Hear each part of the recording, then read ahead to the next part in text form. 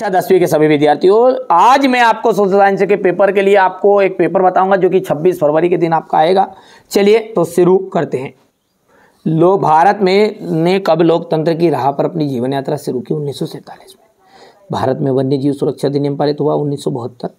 प्राथमिक क्षेत्र की गतिविधि कौन सी है? देखो, प्राथमिक क्षेत्र में आता है अपना खेती से संबंधित काम। तो केवल यहाँ पर मछली पकड़ना ही है, गाँव का, ग्रामीण क्षेत्र वाला काम। भारत की प्रमुखतम आयात वस्तु है खनिज तेल।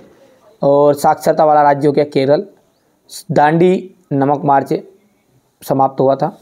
ठीक है, यहाँ से अपन इसका इतना इतना कर सकते हैं। यहाँ से हो गया ये। रिक्त स्थानों को देखिए आ लोकतांत्रिक सरकारों में पारदर्शिता नहीं होती। भारत में केंद्रीय सरकार ज़्यादा शक्तिशाली होती है। तृतीय क्षेत्र में श्रमिक वस्तुओं का उत्पादन नहीं करते। एक प्रजातांत्रिक सरकार जनता के प्रति उत्तरदायी होती है। विभिन्न देशों के बाजारों को आपस में जोड़ना ही अंतर्राष्ट्रीय व्यापार कहलाता है। खिलाफत समिति का गठन होगा था, और ये आपका यहाँ से दूसरे का इंग्लिश मीडियम का देख लीजिएगा, है ना? जोड़ी क्या है आपका? संगठित क्षेत्र संगठित क्षेत्र का जाएगा कारखाना अधिनियम। क्या जाएगा इसका कारखाना अधिनियम। नई आर्थिक नीति लागू की गई तो उन्नीस सौ इक्यानवे में फ्रेंड्रिक सारियू ये आपका फ्रांस का और वंदे मातरम, बंकिम चंद चट्टोपाध्याय तो ये तीसरा हो जाएगा आपका। कपास महाराष्ट्र हो जाएगा और आदि से ज़्यादा गरीब आबादी गरीब आबादी किसमें है? बांग्लादेश में है। हो गया? यहाँ से आपका बढ़िया से कंप्लीट कर सकते हैं। ये भर देता हूँ मैं। दो फाइव बांग्लादेश वाला आपका सिक्स है। ये आपका फ़र्स्ट है और बंकिम चंद्र चट्टोपाध्याय ये फोर्थ है और ये फ्रेंच आपका तीसरा है। हत्ता में के लिए आपस में क्या करती है? कंपटीशन करती है। श्रीलंका किस वर्ष स्वतंत्र राष्ट्र बना? 1948 में। सूचना एवं संचार प्रौद्योगिकी को संक्षेप में क्या कहा जाता है? आईटी 1860 के दशक में कानपुर में कौन सी मिल खोली गई थी? ठीक है तो एलगिल मिल खोली गई थी। मानव विकास सूचकांक में कौन सा स्थान पर था? इकतीसवा। आनंद मठ के उपन्यास बंकिम चंद चट्टोपाध्याय। ठीक है भैया, यहाँ से अपन बात करेंगे ये क्वेश्चन नंबर फोर की तो ये आपको करना है कंप्लीट हो गया? अब है सत्य आ सत्य। यहाँ से देखो सत्य सत्य को। प्राथमिक क्षेत्र के अंतर्गत खेतीबाड़ी आती है, बिल्कुल राइट बात है।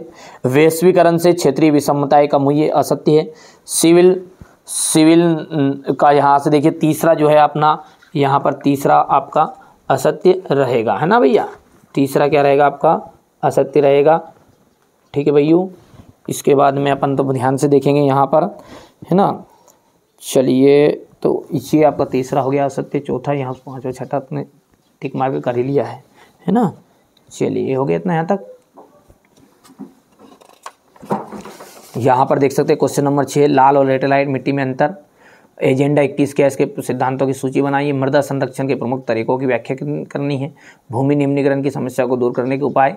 खरीब और रबी जायात की फ़सलों को उदाहरण सहित समझाना है। नगद और व्यापारिक फ़सलों से क्या से? वे निर्माण उद्योग का क्या महत्व है? ध्वनि प्रदूषण को नियंत्रित करने के उपाय। परिवहन एवं संचार के साधनों में अंतर।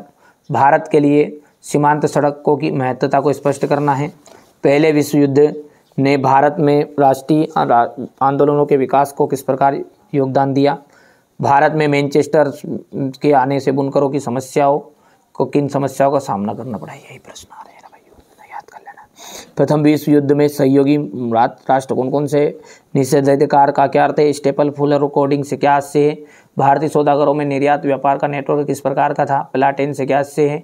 बेल्जियम में जाति संरचना जटिल कैसे होती है? व्याख्या कीजिए। ये क्वेश्चन नंबर पंद्रह हो गया। मुद्रण, क्रांति और उसके प्रभाव आपको बताने हैं।